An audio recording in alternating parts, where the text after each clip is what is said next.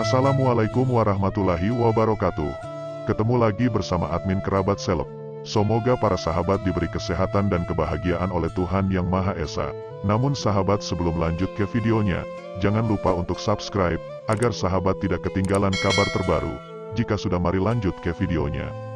Diketahui, nasib nahas menimpa Farel Prayoga Ojo dibanding ke, disampaikan oleh Gayu Titiwang Arimbi, aku nggak sadar, dikutip dari artikel, Lombok Insider, nama penyanyi cilik Farel Prayoga kini makin dikenal setelah sukses bernyanyi lagu Ojo di Bandingke di Istana Negara.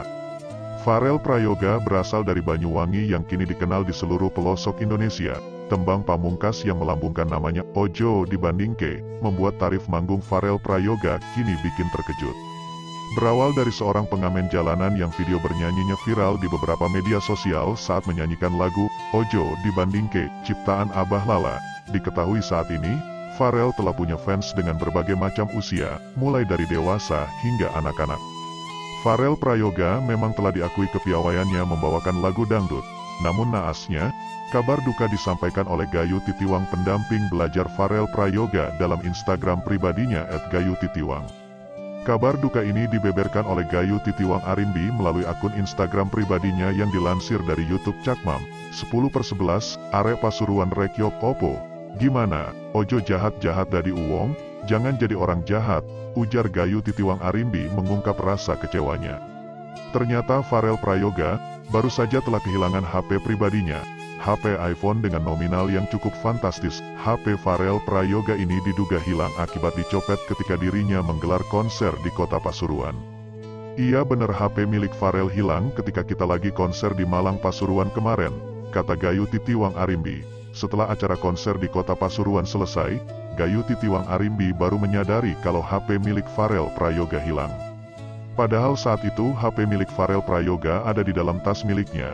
Perempuan berhijab yang selalu bersama Farel ini tak menyadari kalau HP Farel Prayoga sudah raib dari tas miliknya.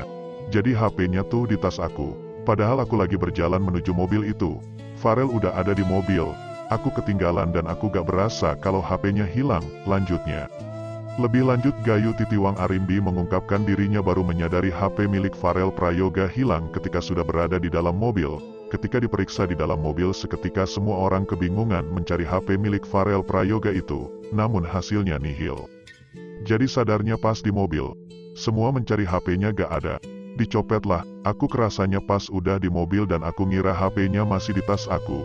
Jadi HP Farel itu hilangnya di sekitaran Pasuruan ungkap Gayu Titiwang Arimbi dalam instastorynya. Saat itu HP Farel Prayoga dalam kondisi tidak aktif sehingga tidak dapat dihubungi. Sekarang HP-nya mati dan tidak bisa dihubungi.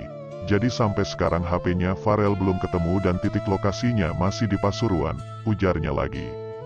Gayu Titiwang Arimbi juga memohon untuk siapa pun yang menemukan maupun mengambil HP Farel Prayoga untuk dikembalikan. Jadi kalau ada yang pegang HP-nya Farel tolong dikembalikan ya, apa aku dan tim yang ke sana kita ngomong baik? Baik, pujar Gayu Titiwang Arimbi. Tak dapat dipungkiri ini jadi pembelajaran berharga untuk kita agar lebih berhati-hati saat menghadiri konser. Demikian informasi yang kami dapat. Terima kasih banyak atas menonton videonya. Jangan lupa subscribe, like, dan komen. Sampai jumpa di video selanjutnya.